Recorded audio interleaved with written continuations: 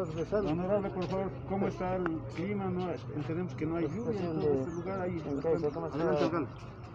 Bueno, buenos días, eh, saludarles a ustedes más que todo. Eh, vengo del municipio de San Pablo de Lipes.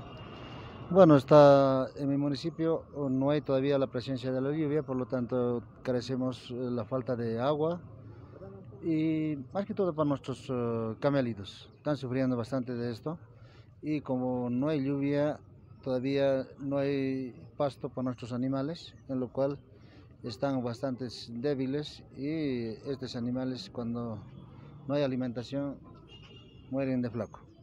Eso es, eh, puedo informar desde el municipio de San Pablo de Lipes. ¿Cuántas cabezas de ganado más o menos estarían en peligro? Eh, eh, bueno, la total de la población de camelidos en el municipio de San Pablo de Lipes tenemos 54.500 eh, eh, camelidos, en lo cual eh, un 20%, como siempre son las madres, con crías y gestantes, tienen problemas de alimentación y por lo tanto están sufriendo.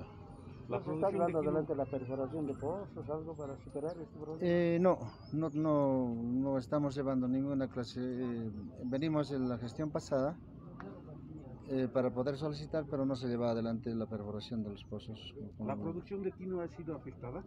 Al igual ha sido afectada el, el 100% del, del, más que todo ha sido con la, con la helada.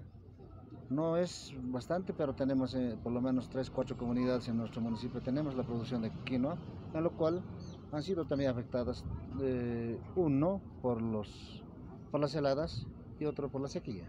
¿La unidad de riesgos está ayudando, está conociendo la situación? No, no, no está colaborando hasta ahora. Sí, no tenemos ninguna ayuda de, de unidad de riesgos. ¿Cuántas familias han beneficiado alcalde en toda la zona?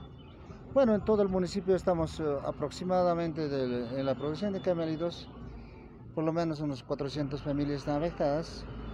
Y lo propio también la producción de quinoa no es mucho, pero por lo menos 100 familias están afectadas.